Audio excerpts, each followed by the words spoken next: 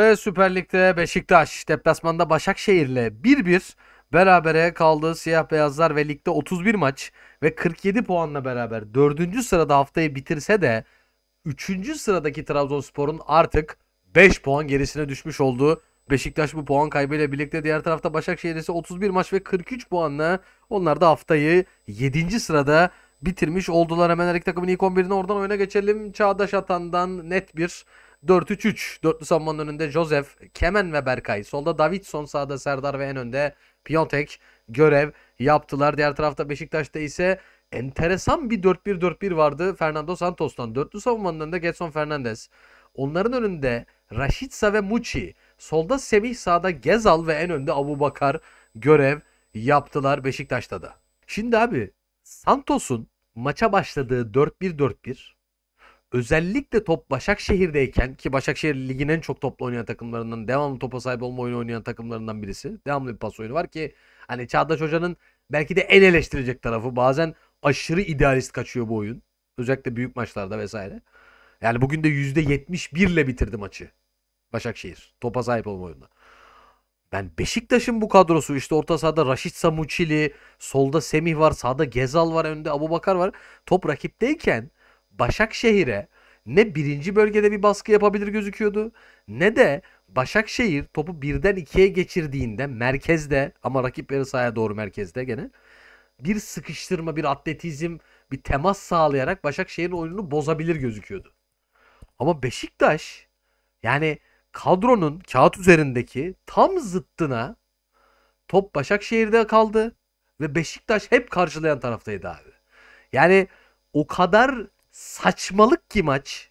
Raşit Gezal'ın devamlı Dubois ile top işte Dubois'a geldiği zaman veya top Başakşehir'deyken Başakşehir oyunu sol tarafa doğru çevirdiği zaman Gezal'ın devamlı savunma pozisyonları. Semih'in devamlı bek kovalama. Ya bütün maç bek kovaladı abi Semih. En kötü bak. Her şeyi açıklayabilirsin. Ama Semih Kılıçsoy'un bütün maç bek kovalamasını şurada vurduğu top hariç ki orada da pozisyonu kendi başlattı. Direkten dönen top. Bütün maç bek kovaladı abi Semih. Skora özellikle tek vuruşla bu kadar yakın bir potansiyel kaleden bu kadar uzak tutuluyorsa teknik direktör kötüdür abi. Bu kadar. Bak sadece Semih'in rolü üzerinden bile Santos'un ne kadar yetersiz bir kulüp takımı hocası olduğunu özellikle herhangi bir ligde Avrupa'nın en büyük 10 ligini saydı. 5 ligi de geç abi 10 ligde yarışacak bir takımın, şampiyon olacak bir takımın bu mantalite imkansız abi oturmaz.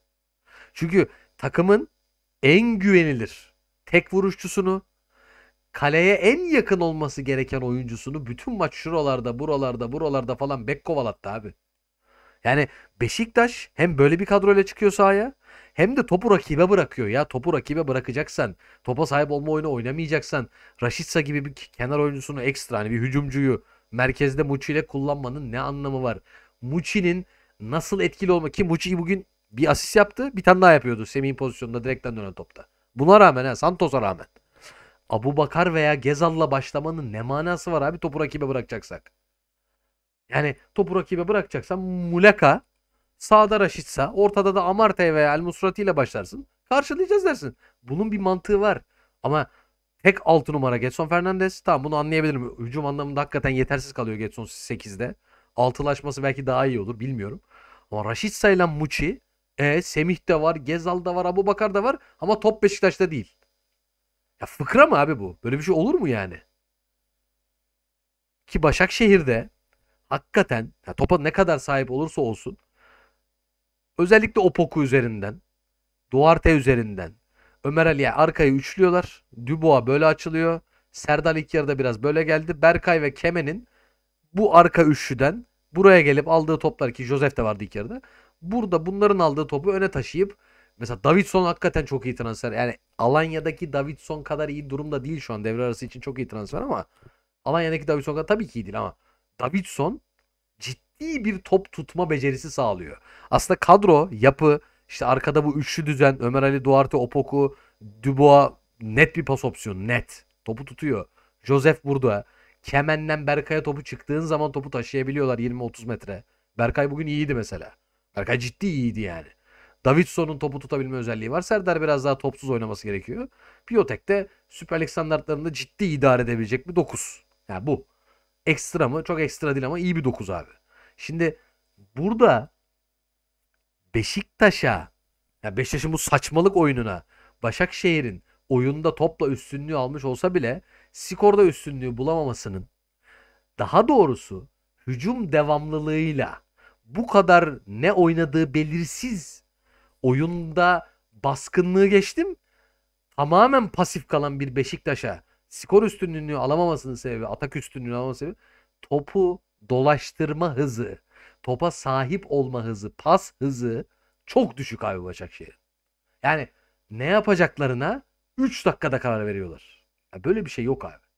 Top Opoku'ya geldiyse bir sonraki pas değil 2-3 sonraki pas bile belli olması lazım. Eğer bir topa sahip olma takımıysanız, bir pas takımıysanız bazı şeylerin, bazı setlerin bu arkada üçlü yerleşti. Bunlardan biri topu aldığında Kemen hemen buraya gelecek. Joseph diyelim buraya koşu attı. Bak ekstra topsuz.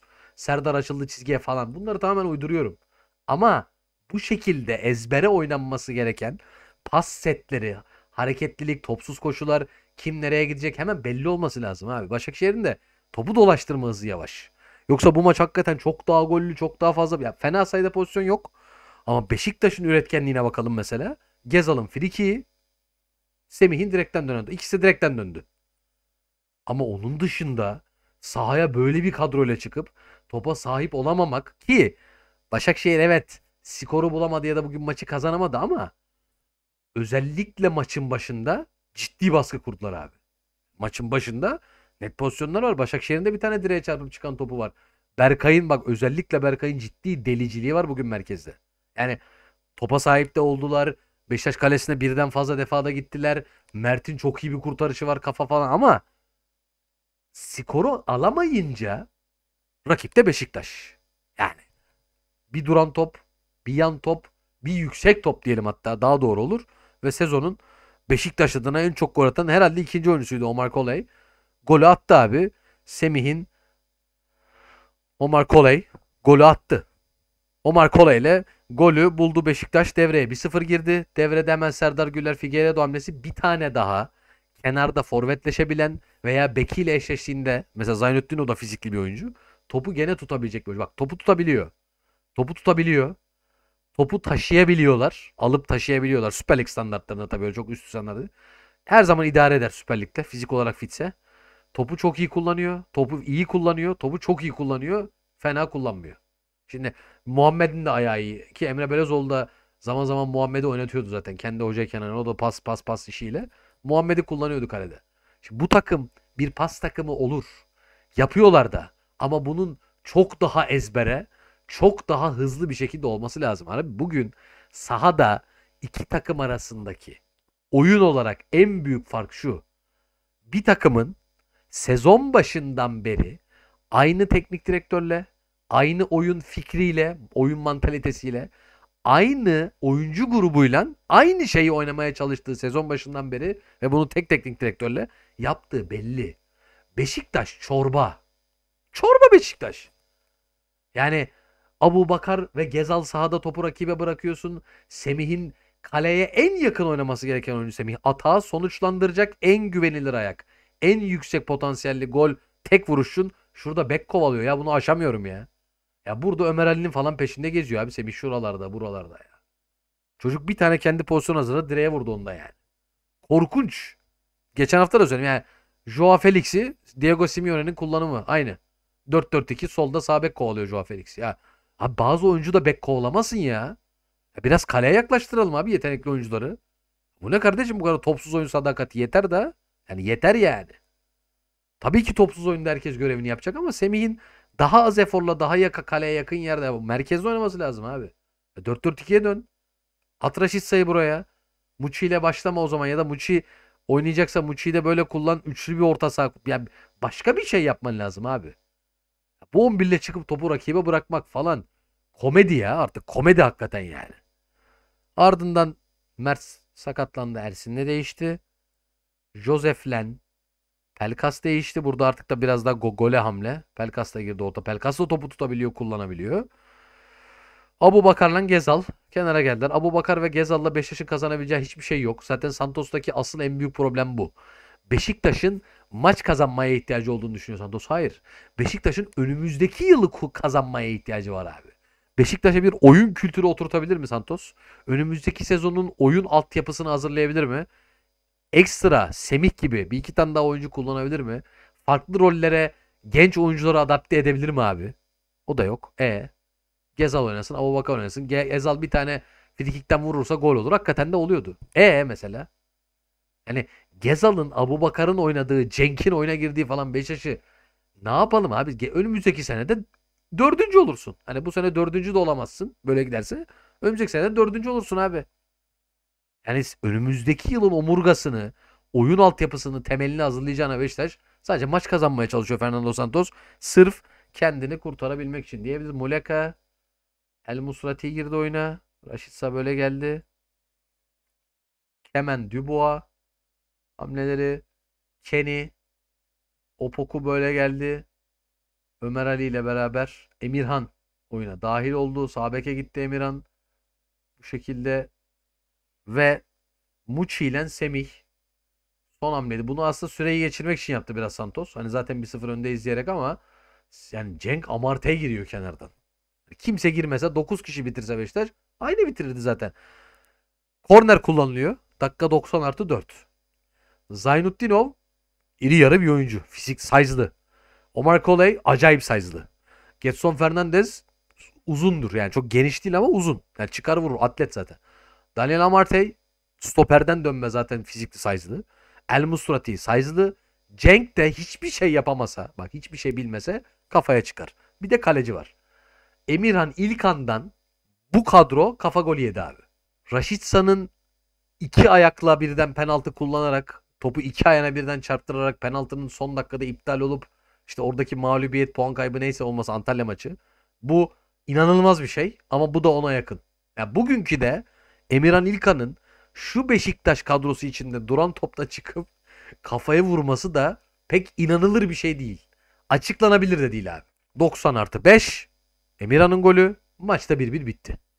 Ve gerçekten Başakşehir'in en kötü bir puanı hak ettiği bir maçtı bu abi. Bunu da rahatlıkla söyleyebiliriz. Akan oyunda hiçbir üretkenlik yok. Beşiktaş'ın önümüzdeki yıl için çantasında cebinde hiçbir oyun altyapısı yok. Rakibin peşinde koşmaktan, rakibin beklerini, merkez orta sahalarını kovalamaktan başka hiçbir yapısı, planı yok. Çağdaş Hoca ile ilgili şunu söyleyeyim kısaca. Topun hızını, pas hızını, topa sahip olma oyununun hızını arttırmak zorundasınız. Daha ezbere, daha çabuk oynamak burada değil abi. Burada değil. Buraya yani şuradan buraya geçerken birkaç saniyede 3-4 pasta geçmiş olmanız lazım. Burada biraz daha topa sahip olabilirsiniz. Rakibini artık gömdükten ittikten sonra çok daha hızlı oynanması gerekiyor pas hızlarını. Ama Beşiktaş'ta abi art- hadi artık yani ne zaman göndermeyi düşünüyorsunuz Hasan Bey? Bak kongreye gidersiniz sezon sonu. Beşiktaş'ın bu sezon iki tane maçı kalmıştı ligde. Biri kendi sahasındaki Galatasaray maçı, biri de Kadıköy'deki Fenerbahçe maçı. Galatasaray maçını kaybettin. Bence kötü oynamadı. Bir Kadıköy var. Hani derbi kazanırsan en azından kazanmanın bir anlamı olur. Ligdeki kaz hani maç kazandığında anlamı olacak iki maçtı bunlar. Biri Galatasaray, biri Fenerbahçe. Birini kaybettin. Kendi sahanda Galatasaray kaç sene sonra kazandı seriyi. Vodafone şey tüm Tüpraş Stadı açıldığından beri ilk defa kazandı. Bir de Kadıköy'e gideceksin abi. Bir de kupa var. Onun dışında Beşiktaş'ın ihtiyacı olan şeylerin önümüzdeki sezon hazırlığının hiçbirisi Fernando Santos'ta yok diyebiliriz. Umarım video hoşunuza gitmiştir. Hoşçakalın.